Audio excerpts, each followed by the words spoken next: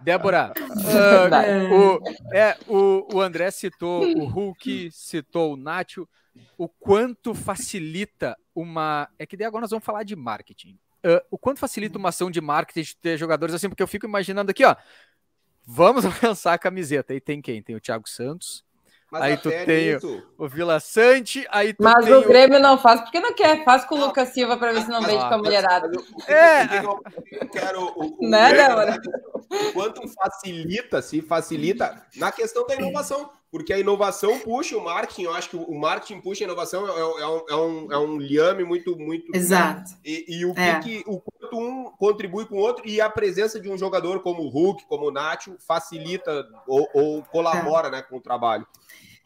Então, eu acho que o primeiro ponto, é, é, e já é um, um, ponto errado, eu acho, da gente pensar, mas é normal, tá? Não é. E, e assim, não estou falando que vocês estão errados, mas assim, o problema dos clubes, eu tô falando dos clubes, é Sim. pensar que um jogador vai trazer para vender camisa. Esse é o primeiro Sim. ponto. Não existe mais isso, né? Assim, ah, vai vender, vai vender, mas isso é o mínimo. Não, isso é o mínimo. Vender ah. camisa de um jogador que se contrata, é, como, por exemplo, né, Pavon, que chegou agora aqui no Galo, é, Pedrinho. É, então, assim, a gente tem nomes agora chegando, né? Então, o, o, o, o, Hulk, que vendeu horrores também já quando chegou, enfim, o próprio Godin, que né, teve essa questão de campo não ter dado, mas é, esses nomes, principalmente como Nacho, Zarate, esses nomes de fora, principalmente, é, eles trazem, além da venda de camisa, aí que eu digo que os clubes pensam errado, ah, é a venda de camisa apenas. Não é só venda de camisa.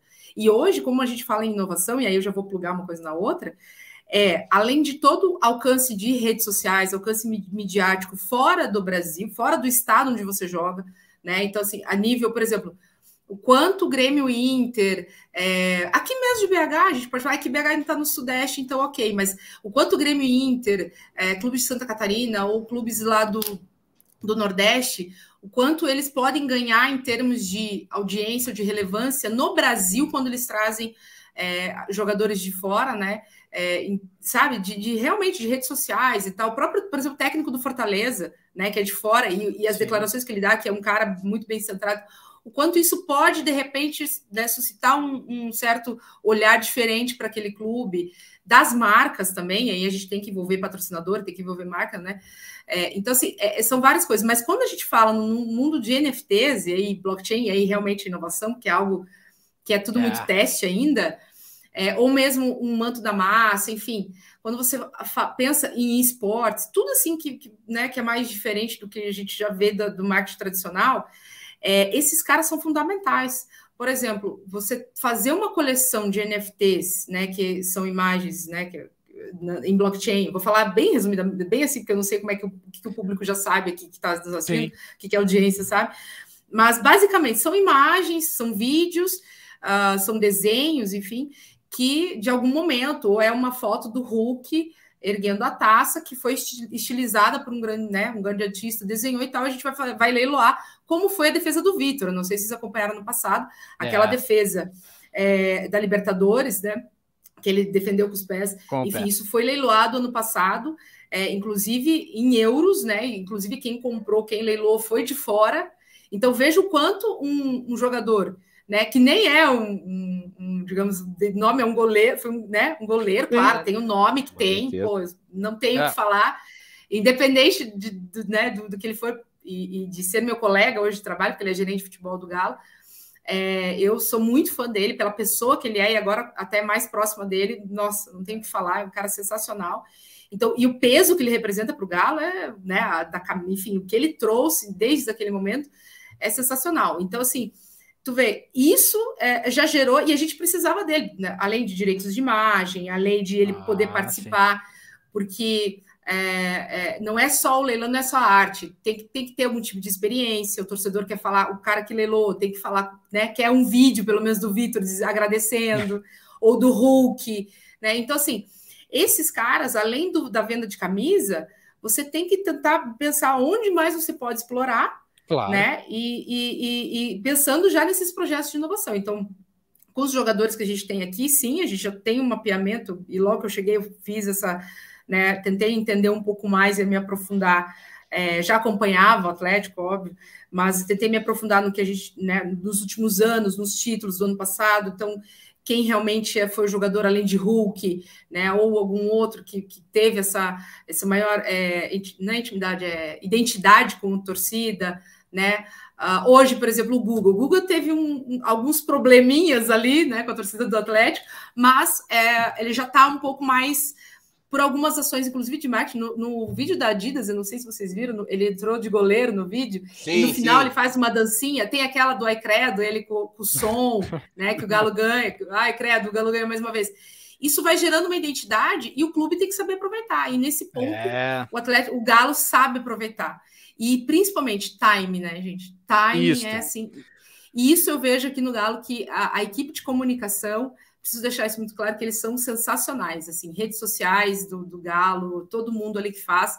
É, o timing da situação eles conseguem pegar e pegar muito bem. Então, isso é muito importante. Então, resumindo, vai vender camisa é importante, com certeza. Porém, a gente não. Isso é o mínimo, Dá sabe? Isso já é o básico. muito mais, né?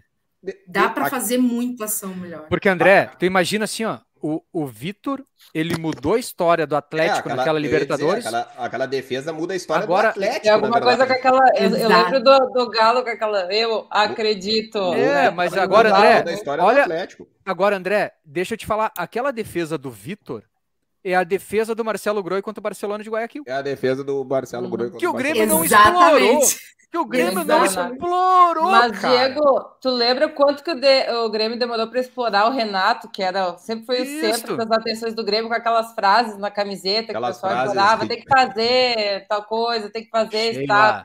Quantas, gente, quantas vezes a gente pede o bonequinho do Jeromel? Do Eu ia dizer isso aí. Dentro da simplicidade, dentro da simplicidade, Cara, bonequinho, Jeromel bonequinho. e Kahneman. Todo mundo. Gente, é lembra das almofadas? As almofadas do. Gente, do, do técnico do Ceará, que é. Gente, esqueci.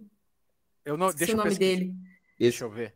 Esses dias é, eu vi uma, um cara que fez uma. É que ele não é agora, foi do ano passado, foi do ano retrasado, que eles lançaram as almofadas do técnico, vocês têm noção? E assim, hum. foi um boom, porque foi muito legal as almofadinhas que eles fizeram. Ceará lança Gutinho. Almofada é, personalizada do técnico. Do Ferreira, né? Do Guto Ferreira? O... Do Guto Ferreira, exato. exato. O cara fez, para despedida do Renato, ele fez uma miniatura. Ele fez uma miniatura em, sei lá, em que que ele fez aquele. Ele fez uma miniatura para presentear o Renato. Cara, aquele, aquilo ali bota 3D na loja, ele fez. Aquilo ali bota na impressão 3D. Mas eu não me lembro o material, né? Mas enfim, ele bota aquilo ali na loja do Grêmio, aquilo vende como água, né? E, e os caras não exploram. Outra coisa que eu queria te perguntar, assim, dentro da inovação, o Hulk né? A gente pegando o Hulk especificamente. E apaixonado Hulk, pelo Hulk. Não, o Hulk é uma marca mundial. Ele é uma o cara é um fenômeno. É, ele é onde ele Você explorar o bumbum dele onde também. Onde ele for, onde ele Ninguém tem o bumbum do Hulk. É. André, tu já notou que a Sheila, a Sheila, ela gosta... Séria, essa é uma live séria. Essa é uma live Não, séria. Eu já falei para ela, André. Eu já falei para Sheila. Ela, o Lucas Silva. Sheila, eu já te falei. Sheila. Sheila, eu já te disse, o Lucas Silva, volante bonito e zagueiro bonito não funciona, eu já te falei. Mas eu, volante eu, tem que ser feio.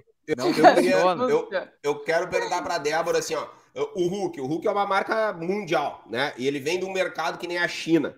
Por quê? E dentro, acho que isso entra dentro do marketing e dentro da inovação. Tu me corrija se eu estou errado. Sim. Por que, que os clubes brasileiros não exploram esse mercado, por exemplo, que o clube europeu explora de fazer a temporada, pré-temporada na China ou nos Estados Unidos ou aqui ou ali, porque tu leva o Hulk para fazer uma pré-temporada na China, vai movimentar, né? E tu vai fortalecer a marca do Atlético lá fora. Ou tô também falando bobagem? Não, é, eu acho que é isso mesmo. Mas aí eu acho que é uma quebra de, de um paradigma, assim, embora a gente, o, o, o Atlético Mineiro, se não me engano, ah, antes da pandemia, fez na, naquele Florida Cup, se não me engano, Florida eles foram para lá. Então, é, então, então já tem um movimento nesse sentido. Mas realmente, fazer pré-temporada eu acho que é um, uma questão do Brasil, assim, dos clubes de. É que, vamos pensar, tem o Hulk, beleza. Mas o que, que será que o Galo. É que o Galo, obviamente, com todos os, os, os, títulos que ganhou no passado, beleza, já, já poderia fazer. Aí a gente tem questões de Covid. Esse ano o calendário não vou falar de agora. Também, né, sim, sim, calendário, exato. Esse ano ainda, então, mais ainda por conta da Copa né? É. Mas, assim, é... eu acho que é, a questão, inclusive, a gente vai explorar a imagem do Hulk e em breve vocês vão saber Oh, almofadinha do bumbum, quer ver? A almofadinha do bumbum do Hulk. Travesseirinho do bumbum. Tu imagina, André, tu imagina a Débora chegando no Atlético Mineiro dizendo: Eu tenho uma ideia. Achei, não dá, Sheila, não dá, Sheila.